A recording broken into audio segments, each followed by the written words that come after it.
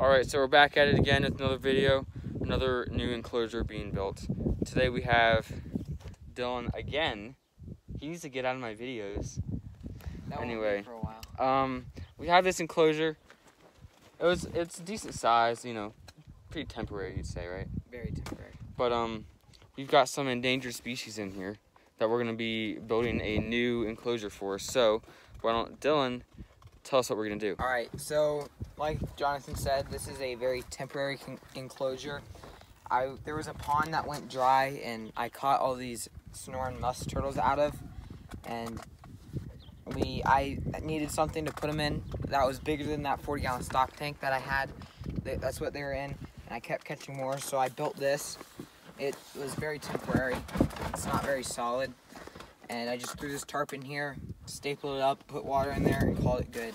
And until Jonathan got here, and now we're gonna be redoing it and making a new one. And it's gonna be right on the back side of the barn. And we're gonna dig it down a little bit, and then we're gonna set it on top, make it longer, and put a new tarp in there and make it all spiffy.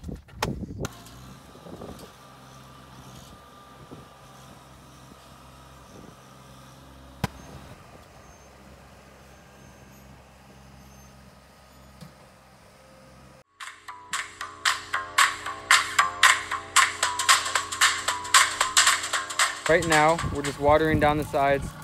Help it to be a little bit more malleable. It's easy access, easy to work with. Um, looking pretty good so far. We get that liner, put it in. But I think we're making good time. We've only been working on it for like 45 minutes, you think? Yeah, probably 45. So it's looking good. So now we've got the sides up. We're just gonna kind of build up a dam on the side so it doesn't leak out or bust the wall. Just gonna taper it out. That's what Dylan's doing right now. This is coming along really well. Now we have what we're gonna be using as the liner. We're gonna unravel it. It's super heavy. It's gonna be a challenge. We're gonna get it finished. Oh my gosh.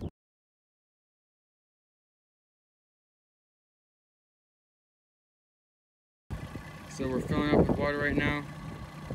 And what are we gonna do? We're gonna taper this side off just like we did the front. So it's nice and smooth. Alright.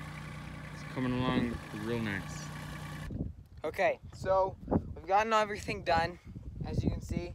We started the bricks and then we realized that we had to put something over the these edges right here so we can and then this side would be the basking area. And we couldn't figure that out and we didn't have enough chicken wire. So since we're leaving tomorrow on a jet plane, we are going to do something temporary.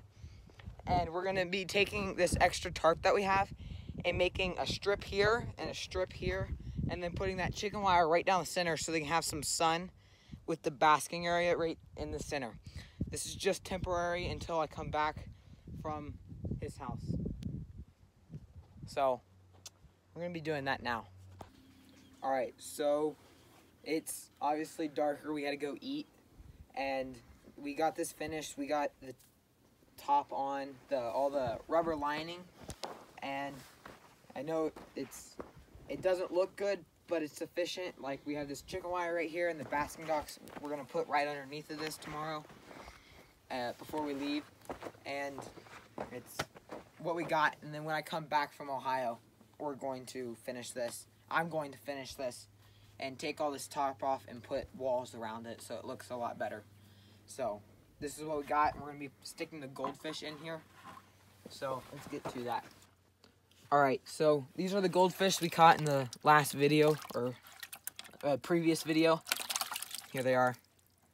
Pretty good sizers. Just gonna slip them on right in here.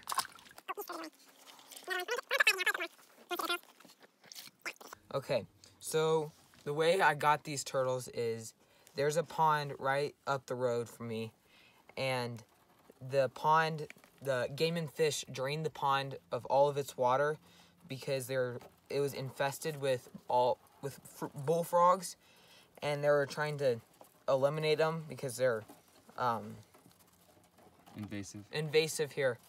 So this pond went dry and all the musk turtles went under the mud and laid there for a while and it was dry for like four months and I, I was going up there all periodically to check to see if there's any turtles. And around like the fifth month, they all started to pop out of the water, pop out of the mud. And I built that other enclosure over there to hold them. And they kept escaping from that. How, I don't know. But I probably caught about 20 of them, but a bunch of them escaped. And so I'm only left with these uh, eight, I believe. And this one is pretty beat up. It's got that shell is missing on the bottom, and then it is it's missing an eye and a foot. So this is a beat up girl. We're we're gonna be sticking them all in this pond.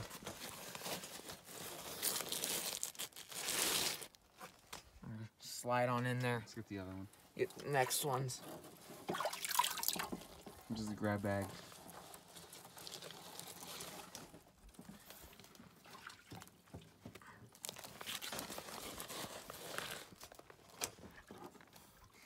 Quite a few of them then. There's a couple, and all of these are females.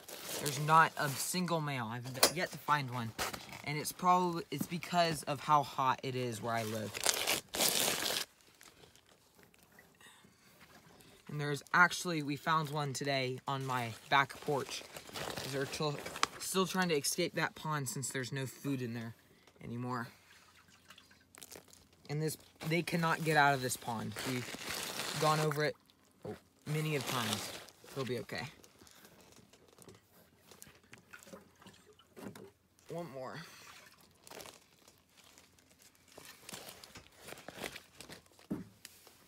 Oh, that's all. Oh, and there's one baby bullfrog. He's super skinny. I doubt he'll make it. I just found him.